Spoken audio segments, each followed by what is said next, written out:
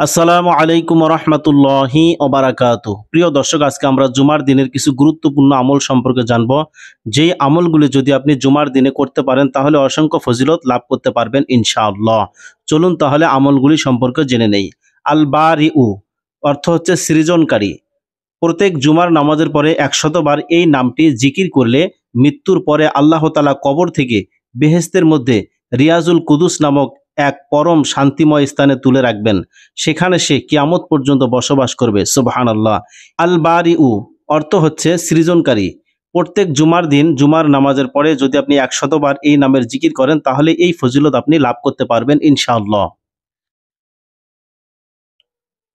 আল গফারু অর্থ হচ্ছে গুনাহ মাফকারী।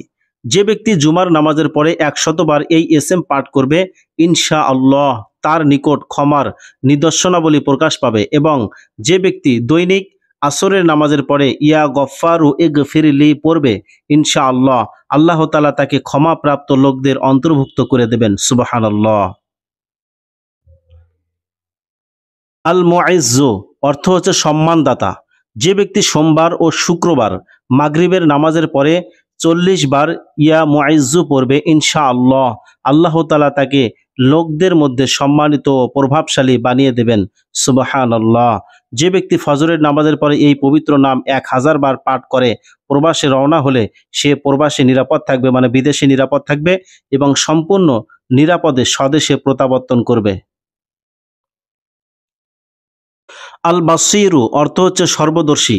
যে ব্যক্তি জুমার নামাজের পরে এক শতবার ইয়া বাসিরু পাঠ করবে ইনশা আল্লাহ আল্লাহ তালা তার দৃষ্টিশক্তি বৃদ্ধি করবেন এবং তার দিলে ইমানের আলো দান করবেন। সুবাহান আল্লাহ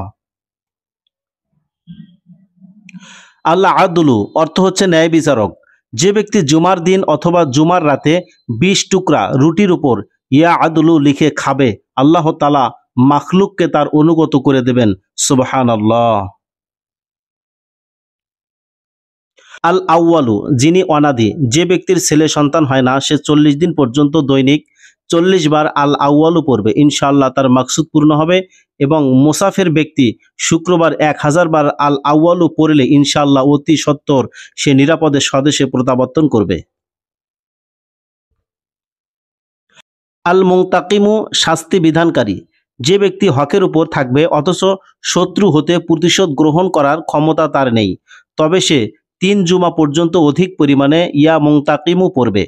ইনশা আল্লাহ আল্লাহ তালা স্বয়ং নিজে তার শত্রু হতে প্রতিশোধ গ্রহণ করবেন। আদরু লোকসানে পতিত করার মালিক। যে ব্যক্তি জুমার রাতে এক শতবার আদরু পড়বে ইনশা আল্লাহ সে সকল বাহ্যিক ও অভ্রান্তরীণ বালা মুসিবত হতে নিরাপদ থাকবে এবং সে আল্লাহ তালার নৈকট্য লাভ করবে। সুবাহান আল্লাহ আর নূরু তিনি আলো। যে ব্যক্তি জুমার রাতে সাতবার সুরায় নূর এবং এক হাজার বার এই এসএম পড়বে ইনশা আল্লাহ তার অন্তর আল্লাহ তালার নূরে নূরান্বিত হয়ে যাবে। সুবাহান আল্লাহ আল বাকি চিরস্থায়ী।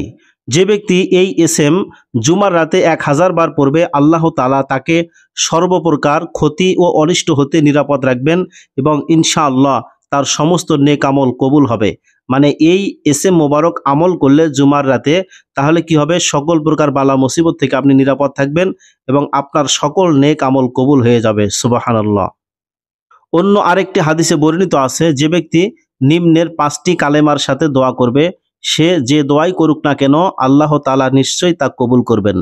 কালেমাগুলি হচ্ছে, লা ইলাহা ইল্লাল্লাহু ওয়াহদাহু লা শারিক আলাহু লাহুল মুলকু ওয়ালাহুল হামদু। ওয়াহু আলা কুল্লি শাইইন কদির।